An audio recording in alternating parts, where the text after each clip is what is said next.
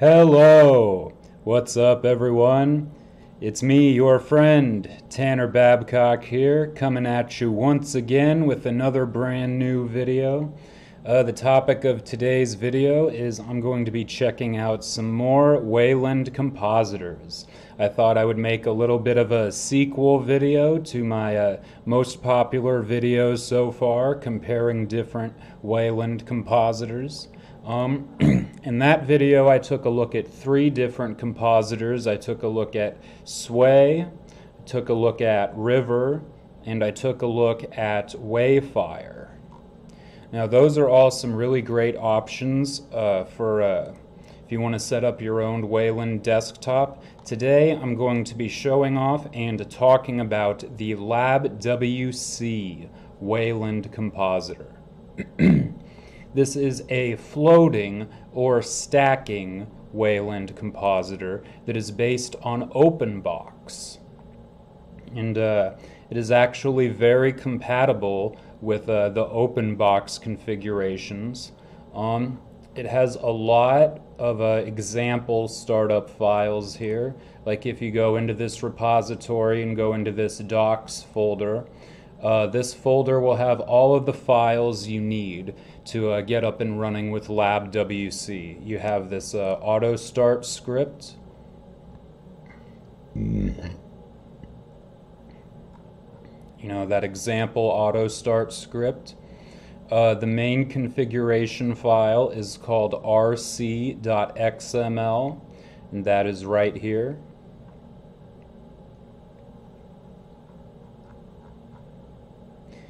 But yeah, because LabWC is a floating or stacking window manager, aka Wayland compositor, uh, there's no workspaces really. Uh, you can just drag windows around. You can uh, resize them with your mouse. Uh, it has these nice window decorations up here. You have these little buttons for uh, minimize, maximize, and close. And uh, there's a little thing over here too. There's this other menu that pops up when you click this, or if you right click on uh, the title bar of the window you'll get this little menu. So you can drag windows around. You can also snap windows like how I just did that. If you drag a window up to the top edge of the screen, uh, LabWC will maximize it.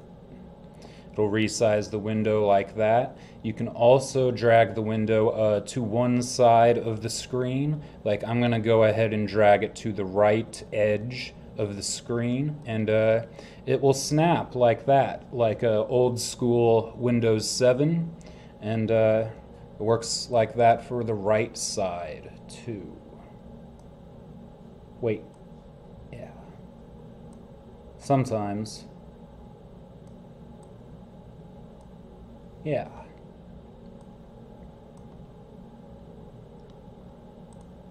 So there's no workspaces, there's no tags or uh, anything like that, but you can minimize and maximize windows. The, uh, this status bar that I have down here is called Waybar. It's the same status bar that I use for Sway and River and uh, it works great for LabWC. I would highly recommend uh, using LabWC with the WayBar status bar. Um, it has these little icons down here for the applications that I have up, and uh, it shows me these letters to uh, indicate the the window state if it's maximized or minimized, and also the color of this little uh, this clickable button here. these are all clickable buttons, these windows that pop up in the, the status bar there. And you just click on them and it brings up the window and the color of these little windows indicates the, uh, the window state also. Here's another terminal, the good old-fashioned foot terminal that I use for every Wayland compositor. My NeoFetch still says sway, but that's all right.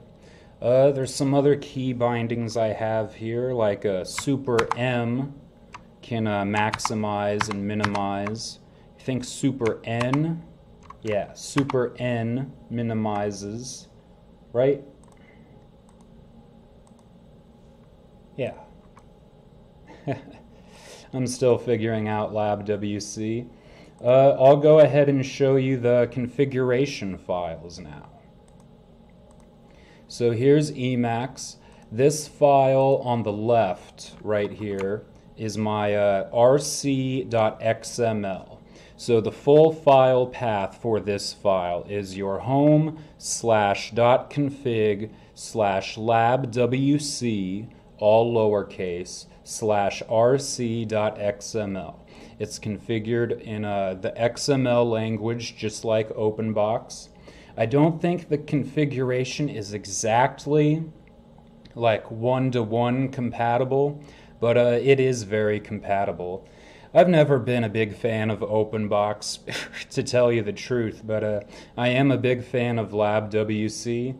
Uh, it was pretty easy to set up. Um, getting started with LabWC, you can just look up the documentation for like OpenBox and OpenBox themes and you know OpenBox configurations, and a lot of that stuff will work with LabWC.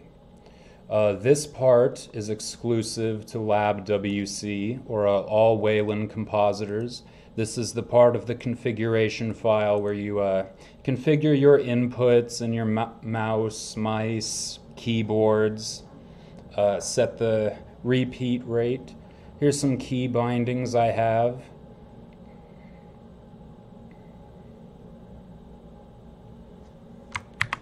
pavucontrol, pulse audio control for uh, meta slash, super slash, super comma, bring up my, uh, my music player here. And uh, alt, yes, alt, alt slash, no, alt comma will bring up Emacs. but uh, yeah, be sure to look at uh, this main page of the GitHub repository for LabWC for help because uh, everything's here. This little docs folder, all of the files that you need are going to be right in there, and you're going to want to copy those files into your slash config slash labwc directory. So here's my directory. Here's everything I have in my uh, config slash labwc. I have the rc.xml. I have a menu.xml. I have the, uh, the auto start script. I have this little script called environment, which I will show that to you all in just a second. And I have this file rc.xml.all. I will talk about that in uh, just a second too. We'll go back to Emacs. This file on the right of the split, which I'll go ahead and move my head there. This file on the right of the script is the, on the right side of the window is the auto start script for LabWC. So this is just the same file that I copied from the GitHub repository. I changed all the stuff that I needed to change, like here's Waybar, um, it loads my separate, I have a separate rice for LabWC, separate colors and X resources. It starts uh, Dunst for my notifications. It starts my uh, swayidle and swaylock lock screen. It starts the foot server with a custom configuration file. And it uh, figures out pulse audio, Emacs, and a Tiny Serve. and this wob it starts wob which is my uh, this little bar up here that I use uh, to help me change the brightness and change the volume. This little bar up here is called wob and I think that's a pretty cool tool for making your uh, your window manager seem more like a desktop environment and seem more like a, a well-rounded you know experience. So there's the auto start script. I'm going to close out of rc.xml and I'm going to show off this other configuration file labwc slash menu.xml. And this is where all of the, uh, the context menus for LabWC are defined. So uh, this, this menu that pops up here, when you right click on the, the title bar of the window, that's going to be defined right here in LabWC. It's uh, you're going to want this menu tag with the ID of client menu and that is going to be the context menu for the uh, the windows and the title bars and the window decorations. and then this menu tag has the ID of root menu. You know, and that menu is just uh, just this menu, just the main context menu that pops up if you right click anywhere on your LabWC desktop. It's going to bring up this little menu. Uh, I've been trying to figure out how to make this this little menu look nicer. Uh, I haven't got very far. I think right now it looks uh, it looks as nice as it's going to get. Uh, I'm just happy this little menu works and has this uh, reconfigure option. I'm not sure what that does exactly, and uh, an exit option, which are defined down here. And a lot of these applications are the same applications that, uh, you know, I have assigned to my key bindings in the rc.xml file. But yeah, and that's menu.xml. So you are going to want to define two big menu tags. One is going to be the context menu for the title bars of the windows, and one is going to be the context menu for just the global menu for the desktop. And so, yeah, LabWC is pretty fun. I mean, it handles all this nice stuff. I'll show you some of these other files. I'll get out of auto start. I'll do another V split and I'll show a environment.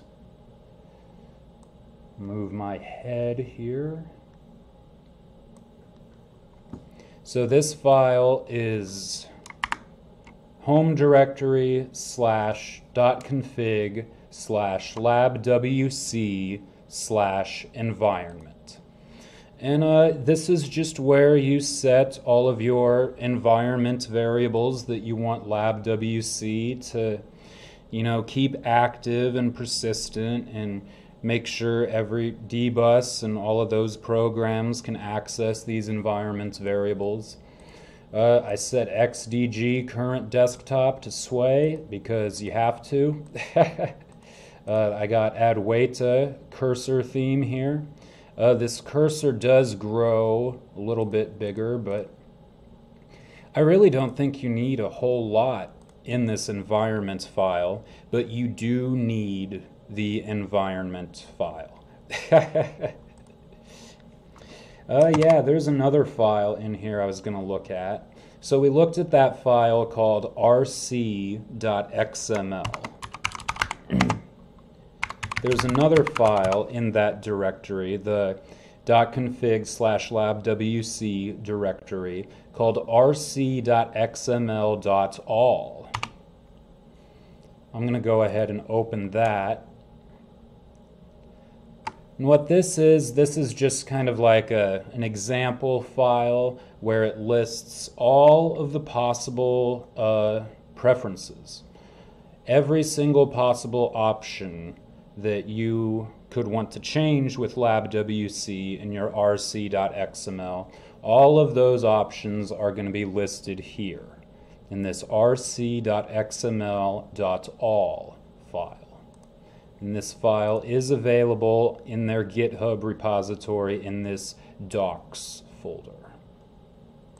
I think they have a pretty pretty nice man page too. Man LabWC. Yeah.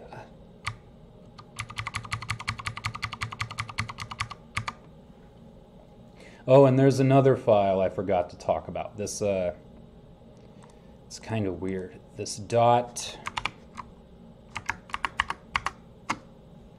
So to customize the appearance for LabWC, uh, you do it the same way you would customize OpenBox, and you got to go into this home slash dot themes slash uh, labwc, and then you'll type ls. It's just called OpenBox 3. Type ls. It's going to be theme rc.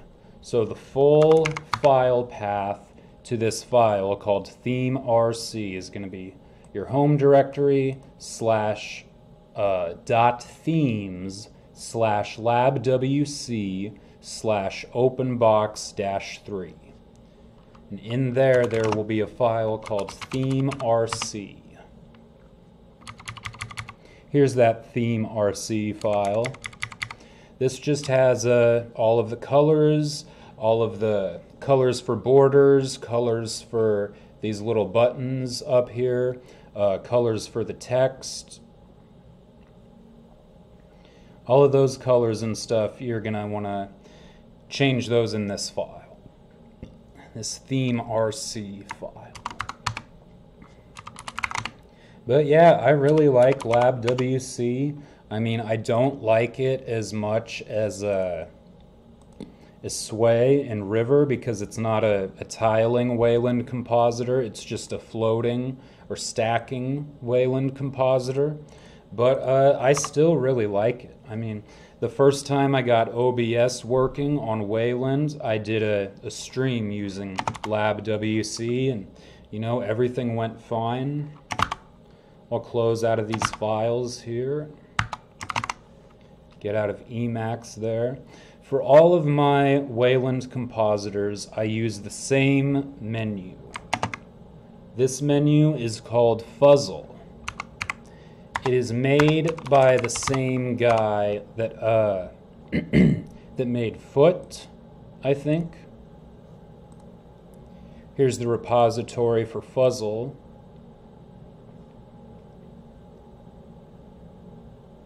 Let's go ahead and look at this. Yeah, same guy that made the Foot terminal, same guy that made a Yambar. Has this program called Fuzzel. It's not on GitHub, it is on Codeberg. But yeah, Fuzzel is updated very regularly. uh, it's a really neat program. The way I use it is I try to make it work just like uh, the suckless dmenu.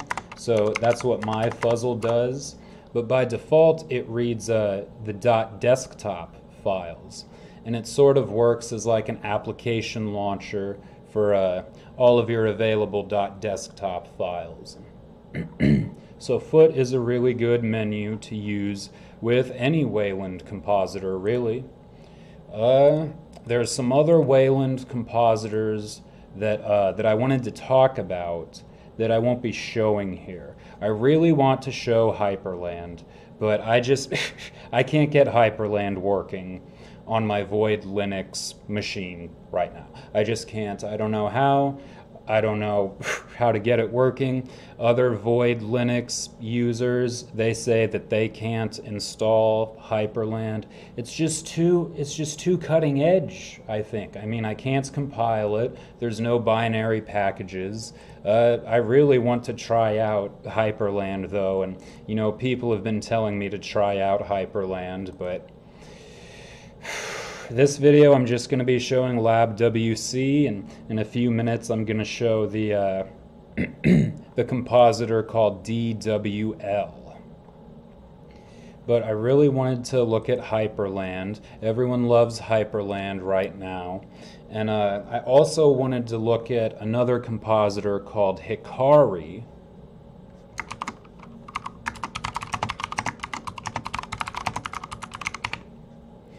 I wanted to look at this compositor called Hikari, but I could not find a suitable status bar for it. Like every every status bar that I tried to use with Hikari, just nothing would work. but uh, it's a tiling tiling Wayland compositor with workspaces. Uh, it's a little weird. I can get it running, but it's not pretty. it's not a nice experience, and I just decided it really wouldn't be worth it to try to configure Hikari and show off Hikari in, in the video, but I'm just going to show their website and talk about it a little bit. Hikari is a pretty cool project. It's, a, it's designed to be a Wayland compositor, not for Linux, but for FreeBSD. It was developed on a, the FreeBSD operating system for that operating system, but it does work really well for me for Void Linux, even though there's no status bar or anything, and uh, it works on these other Linux distributions too. So yeah, LabWC, Hikari, Fuzzel, there's all kinds of awesome stuff out there. If you can't get it working, I mean, just try. Google, read documentation. You can ask me for help.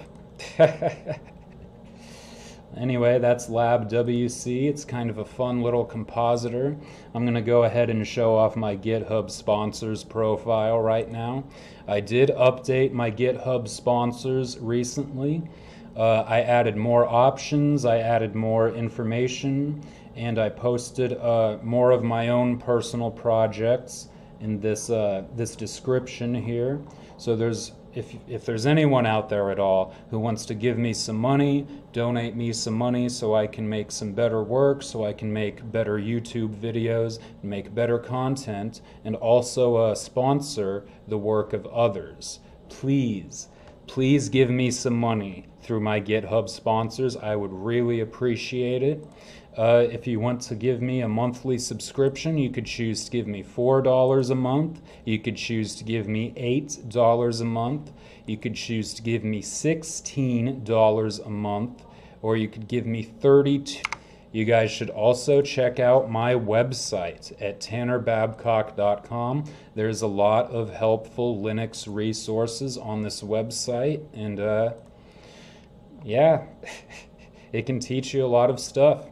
Anyway, I'm going to close out this part of the video now, and I'm going to log out, and I'm going to fire up, uh, fire up DWL.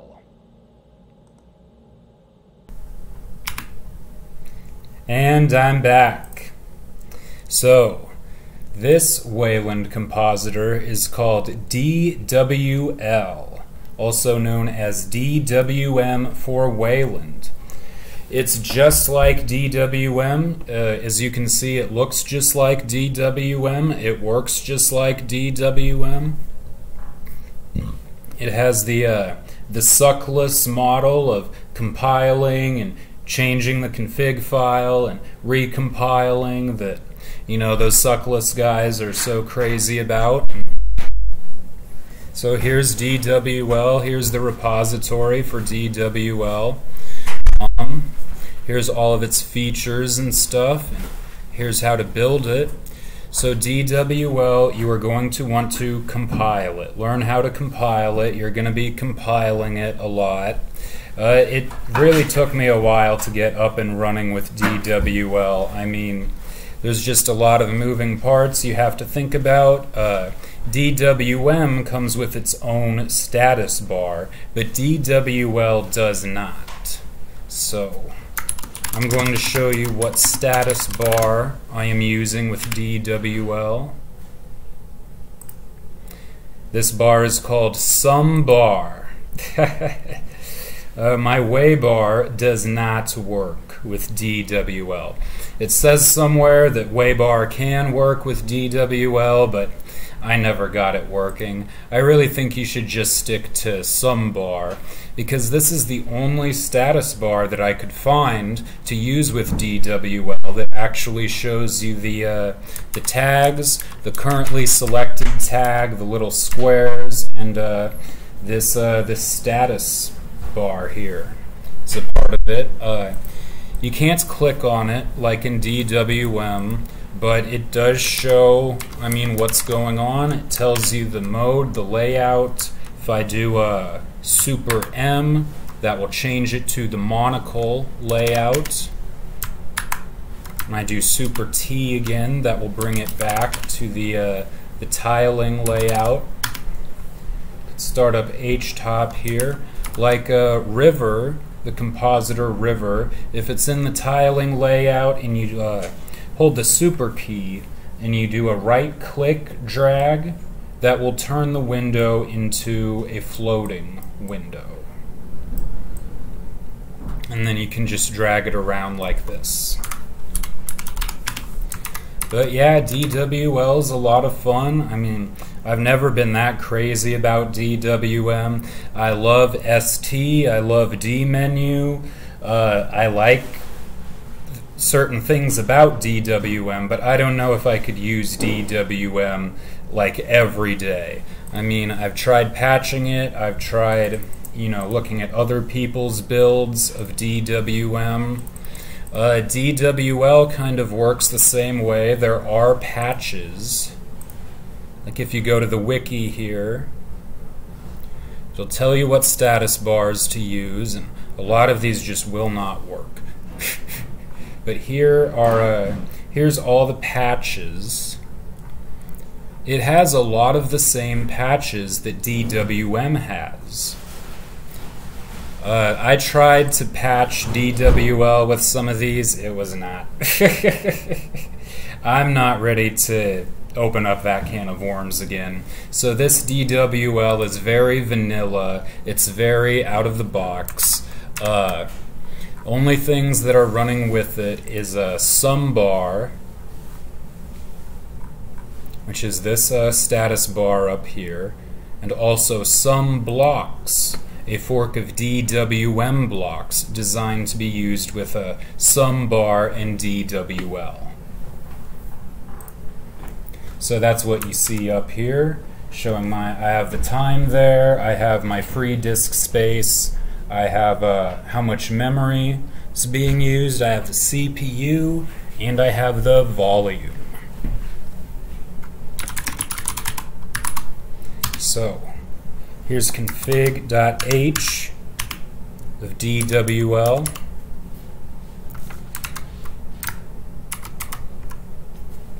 It looks just like uh, the config.h for DWM. These colors are defined a little bit differently. These use a, I don't know, these decimal points, 0.3, I don't know. These, uh, these tags are here. It has the list of tags. You can uh, supply your own rules, your window rules, and it will filter out the uh, all of the windows that are in focus or that are open by uh, its app ID. Can be kind of tricky on Wayland to figure out the app ID if you're just used to using X11 and running the tool xprop, and then you just click a window and you find out, oh, that's the class and that's the title. For Wayland, you got to find out the app ID. Here's the symbols for the layouts. Yeah, I really didn't change a whole lot in this uh, config file except for some of the key bindings so I can open my terminal and my browser and everything but so yeah that's the config for DWL you also have to start DWL in a funny way. I have the startup script here SDWL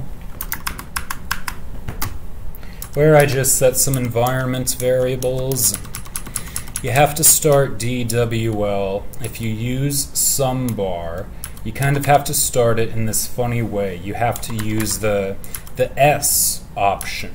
And then you have to put somebar in the quotes after the S option when you start DWL from the command line. So I'll go back to Git. I'll go into this sum bar repository. And the configuration file for somebar is going to be in this source directory. You type ls, and it's this uh, config.hpp.